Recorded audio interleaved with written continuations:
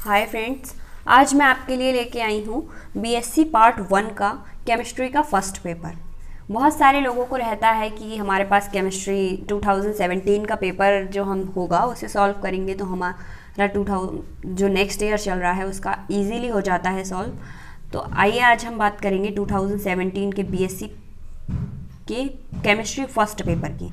तो जो केमिस्ट्री का पेपर होता है, वो थ्री पार्ट्स में डिवाइड रहता है और A B C section A B C हमें सॉल्व करने होते हैं सेक्शन ए में long answer three long answer ठीक है? थ्री लॉन्ग आंसर और सेक्शन बी में सॉल्व करने होते हैं हमें फाइव शॉर्ट आंसर और सेक्शन सी में सॉल्व करने होते हैं हमें फाइव ऑब्जेक्टिव टाइप क्वेश्चंस तो हम सबसे पहले बात करेंगे सेक्शन ए की। सेक्शन ए में देखिए, यहाँ पर क्वेश्चन दे रखा है। Describe Bohr's atomic model explain the spectrum of hydrogen atom on the basis it of it what are its limitation ठीक है? एंड सेकेंड क्वेश्चन है इसी का हिंदी में दे रखा है। आपकी मर्ज़ी है, आप हिंदी में एक्सप्लेन करें या इसे इंग्लिश में एक्सप्लेन करें। हिंदी में है, बोर के परमाणु मॉडल की विवेचना कीजिए। इसके आधार पर हाइड्रोजन परमाणु के स्पेक्ट्रम को समझाइए। इसकी क्या सीमाएँ हैं? बोर का जो मॉडल है, परमाणु मॉडल, वो बीएससी फ़र्स्ट ईयर से थर्ड ईयर तक आपके काम आता है। तो मेरी जो सलाह है कि आप बोर का परमाणु मॉडल अभी से याद करके रखिए और बोर का परमाणु मॉडल मोस्ट इंपॉर्टेंट क्वेश्चन रहता है तीनों ईयर में। Okay friend and next question है what are the quantum numbers describe the all four quantum numbers given तो क्वांटम संख्याएँ क्या होती हैं? सभी चारों क्वांटम संख्याओं को समझाते हुए महत्व को बताइए। क्वांटम नंबर ये शॉर्ट या लॉन्ग बीएससी फ़र्स्ट ईयर का मोस्ट इंपॉर्टेंट क्वेश्चन रहता है। ठीक है फ्रेंड्स तो ये नहीं है, ये 2017 में ही इंपॉर्टेंट है। ये हर साल, ये क्वेश्चन कुछ क्वेश्चंस ऐसे होते हैं जो हर साल हमें मिलते हैं। तो उनमें से है एक क्वांटम नंबर बोर का परमाणु मॉडल या फिर हाइड्राइड शोडियर क्वेश्चन शोडियर क्वेश्चन आपको हर बार मिलती है। बाई चांस नहीं आती है तो बात अलग है। हुंड का नियम है ठीक है हाइड्रोजन बंद है। ये क्वेश्चंस कुछ ऐसे हैं जो हर बार फंसते हैं। तो नेक्स्ट क्वेश्चन है फ़र्स्ट क्वेश्चन में से आपको फ़र्स्ट में दो ऑप्शन दे रखे होते हैं आपको फ़र्स्ट एंड सेकंड आपको एक क्वेश्चन अटेंड करना होता है, जो कि होता है सिक्स मार्क्स का। ठीक है सेकंड क्वेश्चन है व्हाट आर हाइड्राइट्स हाइड्राइट्स किसे कहते हैं? और क्लासिफिकेशन देना है आपको, ठीक है? हाइड्राइट किसे कहते हैं? इसका वर्गीकरण कीजिए, संक्षेप में धात्विक एवं सहसंयोजी हाइड्राइडों के निर्माण, गुण और उपयोग का वर्णन कीजिए। सेकेंड क्वेश्चन में आपको फ़र्स्ट क्वेश्चन ये दे रखा है एंड सेकेंड दे रखा है सोडियर समीकरण। देखिए, मैंने कहा था आपसे, आ गई सोडियर तरंग समीकरण। व्युत्पत्ति कीजिए एवं महत्व बताइए। तो जो सोडियर इक्वेशन है, ये आप अच्छे से याद कीजिएगा। सोडियर इक्वेशन थर्ड ईयर में भी पूछी जाती है। है ये टॉपिक थर्ड ईयर में भी। तो आप अभी से याद करेंगे तो आपको आगे चलकर फ़ायदा ही होना है।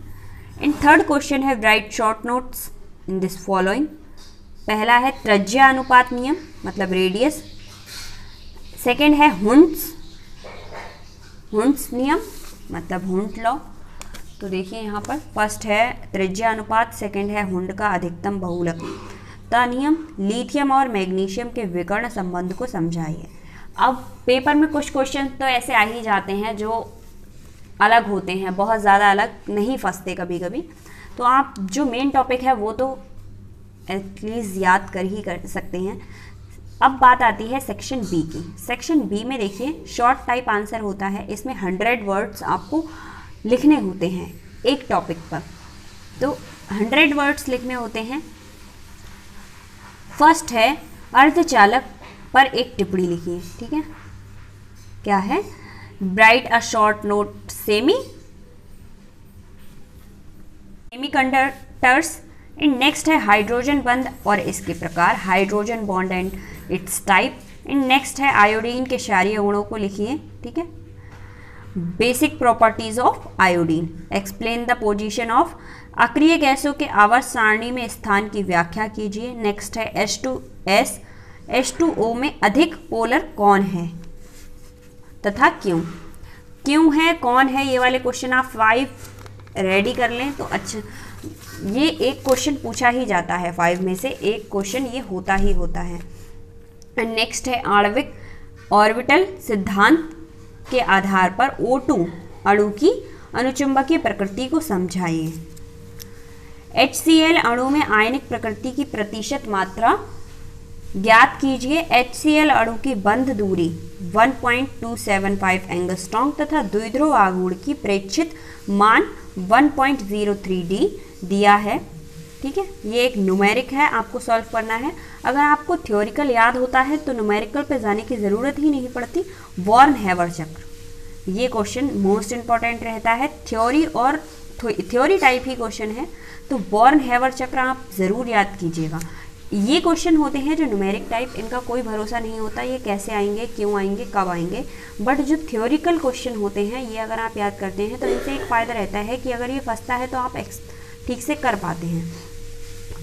अब बात करते हैं सेक्शन सी की। सेक्शन सी में आपको मिलते हैं फाइव ऑब्जेक्टिव टाइप क्वेश्चन जिसमें से फ़र्स्ट क्वेश्चन है आर ऑर्गन की अंतिम कक्षा में इलेक्ट्रॉन की संख्या होती है। सेकंड क्वेश्चन है चार धातुओं की बाहरी इलेक्ट्रॉनिक विन्यास होता है। फोर्थ है सॉरी थर्ड है। एन क्रिस्टल बना होता है। फोर्थ क्वेश्चन है, संक्रमण तत्व हैं, कौन से हैं? फिफ्थ है, अनिश्चितता का सिद्धांत प्रतिपादित किया था। तो ये थे आपका section A B C B S C first year chemistry first paper का। अगर आपको कुछ और पेपर्स या कुछ और सजेशन चाहिए तो मुझे कमेंट बॉक्स में कमेंट कर कर आप बता सकते हैं। आई होप आपको ये पेपर समझ आया होगा और पता चला होगा 2017 में कौन कौन से क्वेश्चन आए थे और केमिस्ट्री फ़र्स्ट पेपर में कौन कौन से इंपॉर्टेंट क्वेश्चन रहते हैं। Thank you so much watching for my video